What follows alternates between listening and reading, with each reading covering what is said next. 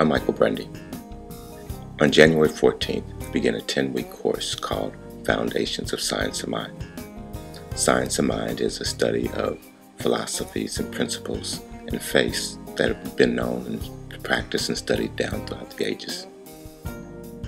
A part of the course is that we each had to do a project at the end of the 10 weeks. The following is my project. I hope you like it.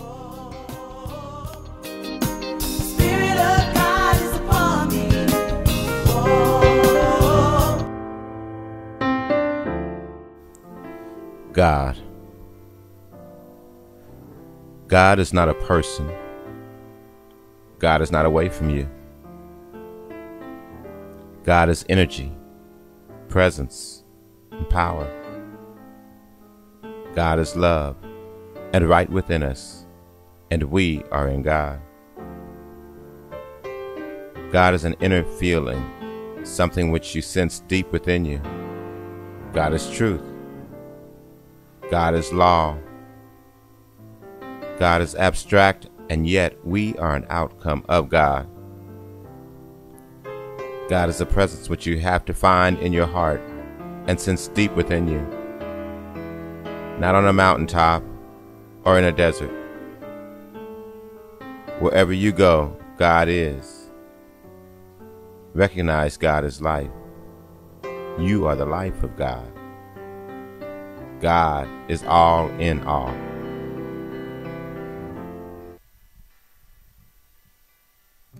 Spiritual practice. Spiritual practice is critical in order to deepen the inner life and grow in a conscious awareness of truth. One such spiritual practice is affirmations. Affirmations are positive expressions that we make that point out what we want right here and now. Visioning and meditating are also good spiritual practices. They put us in the realm of grace. Listening and journaling are also two other good spiritual practices, as well as spiritual mind treatment, which has five steps of recognition, unification, realization, thanksgiving, and release. But my favorite is the creative process. The creative process is how we use cause and effect how we will reap what we sow. It's the principle that says that if you plant potatoes, you won't get corn. You need to trust this process because it's creative. I say just go with the flow, go with the process, go with the flow of life. Leap right in and embody the Spirit of God. You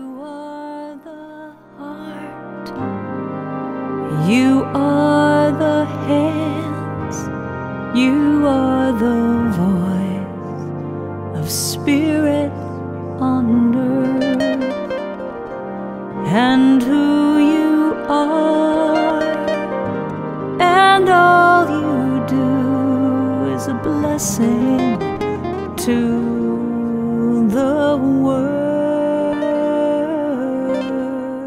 Just one you and it's up to you to be you.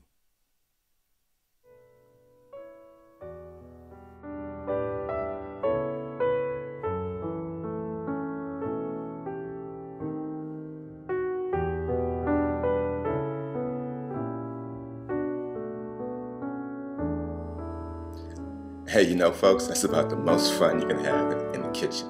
Making a project, completing a project foundations. it was fun. The class was long. There's a lot of reading, a lot of writing, a lot of good self-introspection. So I got a chance to check out myself, see where I want to go, what I want to do in life. It's amazing that those questions still always arise. I think that happens throughout life. One thing that I discovered again is, of course, that my love is for speaking. So you see me today wearing my I love to speak shirt. Hey, I love to speak, love to communicate, love to share ideas. This was just one good way of doing just that. Hope you enjoyed it. Have a great day.